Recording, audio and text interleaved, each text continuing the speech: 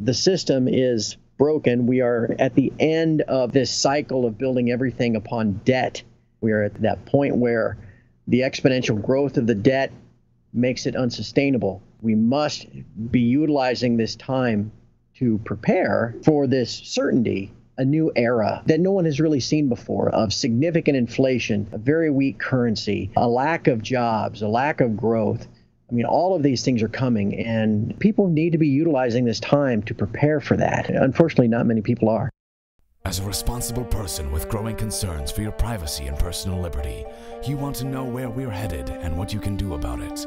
We ask the experts what you need to do to take prudent and responsible action to safeguard your family's wealth and well being, and what basic first steps will help you to be aware and prepared. ReluctantPreppers.com.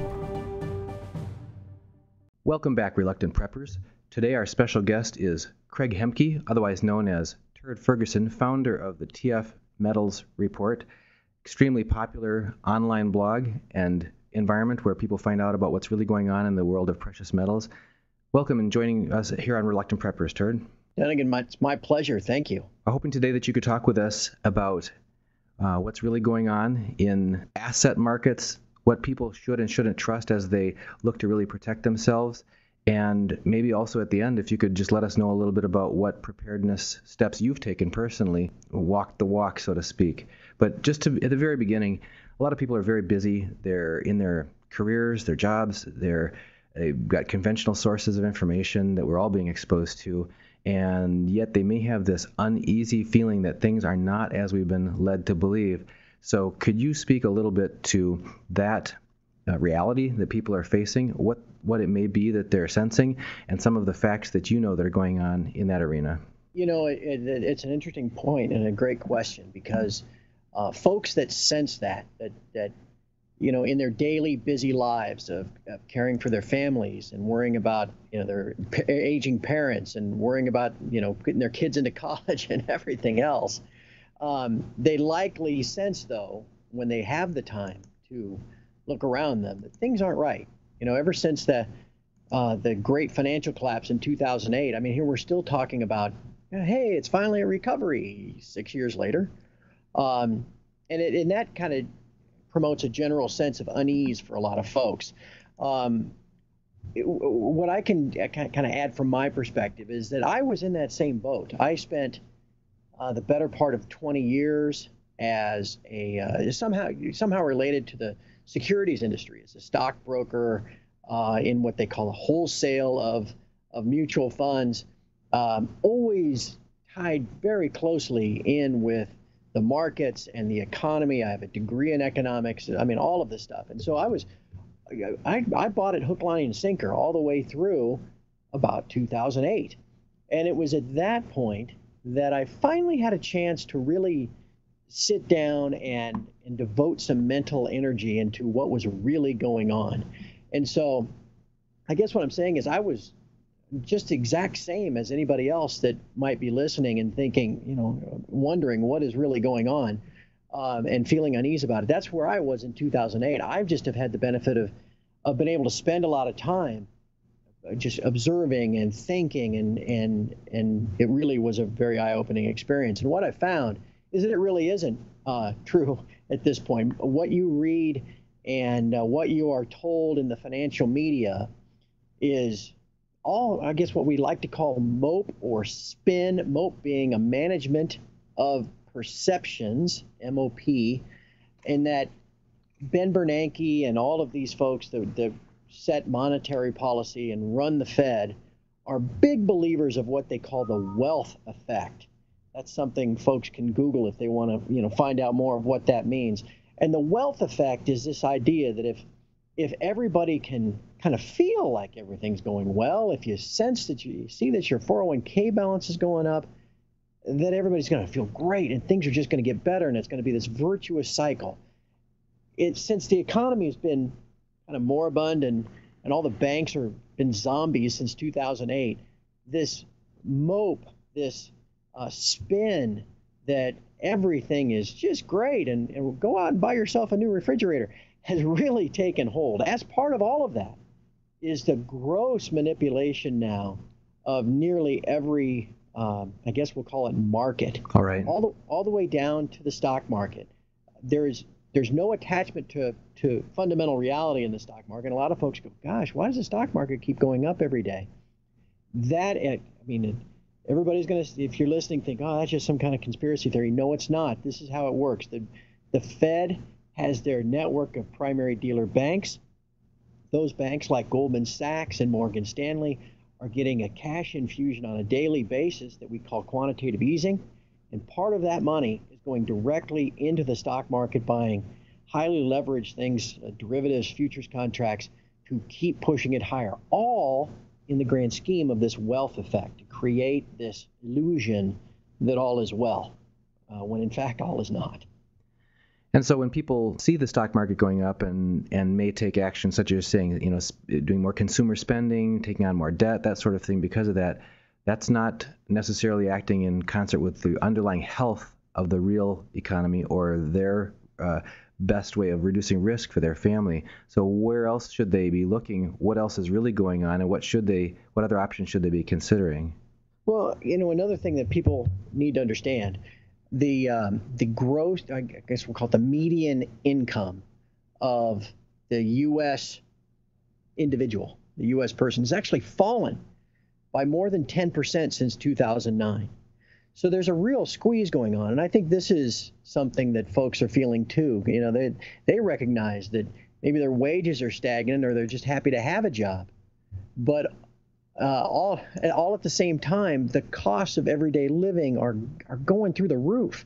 Whether it's a gallon of gasoline or a gallon of milk or uh, the the hamburger that you might buy to, to feed your family, everything, just the, your, the costs of daily living are are skyrocketing, and I think and that's really causing. I, I think that's another one of these factors that gives people pause to think, something just doesn't feel right.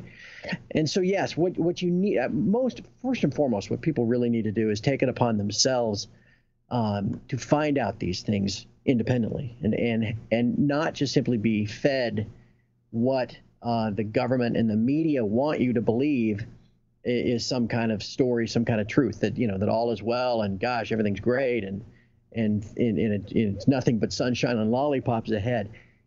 People need to sit down, trust their own instincts, you know, believe their eyes, um, hear what comes in their ears, and then plan accordingly because the system is broken. We are at the end of a this cycle of building everything upon debt. Um, that can only work until it doesn't. We are at the, that point where the exponential growth of the debt makes it unsustainable. And we must be utilizing this time to prepare, as I guess we're discussing, for this certainty um, of, I guess, you know, and the strongest word would be economic collapse, but it more likely um, a new era of uh, that, that no one has really seen before of, of significant inflation, a very weak currency, uh, a lack of jobs, a lack of growth. I mean, all of these things are coming, and every, people need to be utilizing this time to prepare for that. And unfortunately, not many people are. So, what are some specific steps that the average person can take to get started? It can seem daunting if you haven't stepped out of the conventional paradigm that, that we're all you know walking in lockstep in, in, in this modern culture. So, what are some some basic steps that people can take that that don't seem overwhelming at first, just to get started? From a financial standpoint, um, you just have to expect like I said, significant uh, cost of living increases as as we go forward. And so even if you don't have a lot of savings, even if you're not sitting on, you know, a $500,000 401k, you can protect yourself from that by, um, I don't know when I say stockpiling or storing, but uh, but buying now at a cheaper price. If that means instead of buying uh, just one new coat for your kids in anticipation of next winter, buy two because by the winter of 2016, things are probably going to be even more expensive than they are today. Uh, if it means uh, instead of buying, if you, if you have access to this, instead of buying a hamburger a pound at a time, uh, buy it bulk and put it in a freezer in your basement. I mean, there are a number of things just on the very basic level that people can do to uh, not only protect themselves financially, but also prepare in case something more uh, cataclysmic happens. from a financial protection standpoint, this is the thing we mainly discuss at TF Metals Report. It is imperative that you have physical gold and physical silver, not uh, shares of an ETF uh, or or you know gold held in a in an account somewhere that you don't you don't you don't know where it is or you can't see it. talking about the actual metal, uh, whether it's gold coins, uh, silver coins, silver bars. This does two separate things for you. One, it is a store of wealth. Gold has been sound money and a store of wealth for quite literally millennia going back, you know, to the Egyptians. Uh, you could you'll find references to gold and its use as money. The same is true now. Uh, you want to own gold as a protection against the devaluation and destruction of this dollar-based system that the that the world has used now for 70 years. You want to own silver though too for the same reasons. But silver also protects your purchasing power. And in the event of a disorderly societal unrest type of situation, which is certainly possible, silver can be very valuable um, just because it's in much smaller denominations. Silver can be very valuable even all the way down at the barter level. You know, not saying that that's a certainty, but you know, something happens where uh, there's a bank holiday, there's a run on cash, that type of thing having silver on hand, physical silver and physical gold, can also serve you um, just in terms of being able to acquire everyday goods. So, precious metal is a significant part of your preparation for these events, these events that are most certainly coming. Are there any other preparatory steps that you would either recommend or that you've done personally that you could share with our viewers? Well, I I do um, I don't store a lot of food. You know, I mean, there are people you see on TV, you know, with three and four years worth of water and food, you know, and all that kind of stuff in a bunker. Um, I don't have that, but I'm also not living day to day out of the pantry either. So you do that. There are, I, boy, I would really make sure you have something like a Berkey water filter and a, a bunch of extra filters, because if there were ever uh, some type of situation where the, the, your grid collapsed, or heck, just a tornado went through your town, and you had a lack or not access to fresh water for three or four days, you're going to want something like that. Um, we talk about your your guaranteed your your insurance of precious metal, not only of of protecting the purchasing power and and, the, and as a store of wealth. That's obviously very significant too. But I got to tell you, all the way down, I would never have even considered six, seven years ago, uh, being a gun owner and uh, uh, I guess uh, what's the word I'm looking for? Uh, not fluent, but practiced and accurate. sure, a marksman. yeah, there you go. Uh, I would never even, I gosh, would never have thought of that. Again, it's not, you know, I'm not a gun owner and an ammunition owner for that gun in preparation of, you know, having to set up sandbags at the end of my driveway, you know, and all that kind of stuff. Right. But but, you know, we've seen, there have been psychological studies done that if there are ever disasters, you know, for the first 24 hours or so, everybody gets along fine. And Civil, all, yeah. Yeah, everything's fine. After 48 hours, people start to get a little nervous that maybe no one's coming to help. And by 72 hours, everything falls apart. You know, God forbid there's uh, some type of war or, uh, you know, EMP event or something. I mean, all these things that are you know, the odds are stacked astronomically against it. But at the same time, there's a, you never know about, and and there's even a I don't want to say likelihood, but there's at least a potential that should there ever be significant societal unrest, and I you know caused by uh, some lack of food distribution or whatever. I mean, you're going to want some type of protection for yourself and for your family. And I'm not, like I said, I'm not I don't own a gun because I'm expecting to a shootout at the OK Corral. However, uh, in the unlikely event that something like that ever happens, I'm, I'm going to be glad that I have one.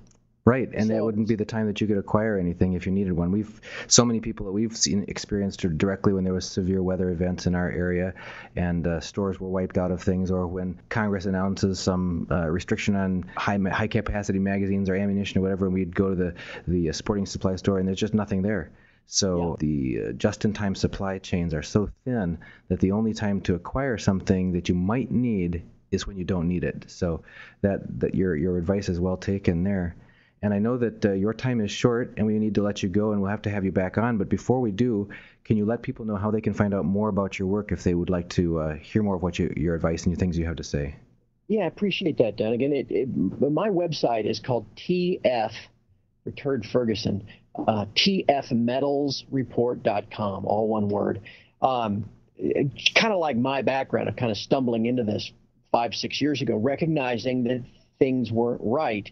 Um, that's what this site is set up for. We call the kind of subtitle to it is uh, preparing for the end of the great Keynesian experiment. Keynes being the economist who kind of uh, was the godfather of all of this debt-induced um, central planned government that we have. And that's all coming to an end. And, and so the site is built on that notion that we're all here to help each other. So as opposed to your regular internet site where, you know, it's sniping and, and people calling each other names and, I mean, it's just not. TF Metals Report is completely different. We're all there to help each other, and people provide links through the forums and, and through all the different threads. And there's just some great uh, forums and threads that discuss uh, disaster preparation and, and financial preparation too. So I'd I'd encourage anybody listening to at least come check it out. Again, tfmetalsreport.com, and, and it's a uh, it's it's it's a different place, and I think most folks will enjoy being a part of it. We'll encourage our viewers to check that out. We'll include a link to your website in the description of this video. Craig Hemke, thank you for being with us today. We'll have to have you back again here on Reluctant Preppers in the near future. again, it was an honor and a pleasure. Thank you very much. Have a great weekend. Thank you.